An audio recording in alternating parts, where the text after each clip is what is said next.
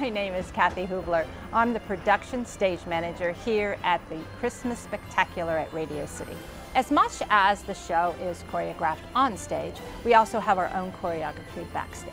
Everything has to be timed back here. There's at least 250 people backstage, including a cast of 150. So it's a lot of people, a lot of scenery, and we don't want to run into each other or anyone get hurt.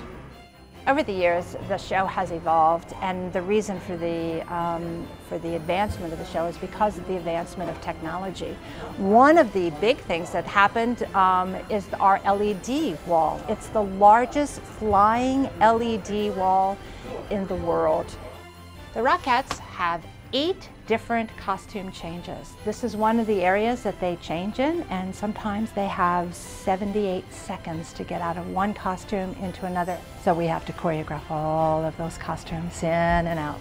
Myself personally, I've got just as many nerves and butterflies in my stomach as the people who are going out on stage. It's very, very exciting and very, very rewarding.